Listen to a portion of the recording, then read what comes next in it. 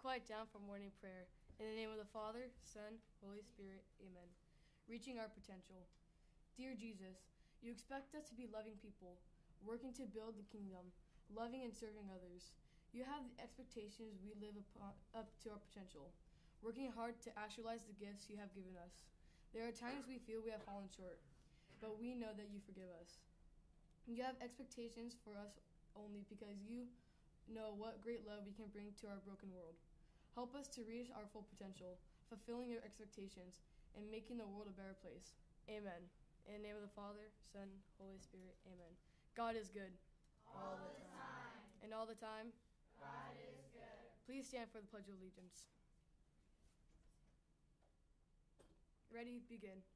I pledge allegiance to the flag of the United States of America and to the republic for which it stands, nation, under God, indivisible, with liberty and justice for all.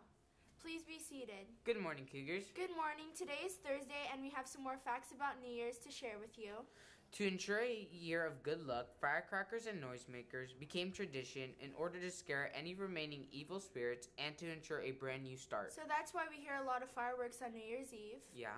And in Thailand, they celebrate New Year's Day with a state sponsored multiple day water fight in the street. I would like to go to Thailand just yeah, to me do that. too. Mm-hmm. Here's Adam with the birthdays. Hey Cougars, today I have two awesome birthdays today. Tell me your name, what you want, and how old you're turning. I'm Tara. I want world peace, and I'm turning 10. I'm Michaela. I'm turning 14 and I want money. Nice, beautiful gifts, both beautiful gifts. Now let's dance. Dala tu cuerpo alegría Macarena, que tu cuerpo es para dar la alegría y cosas buenas. Dala tu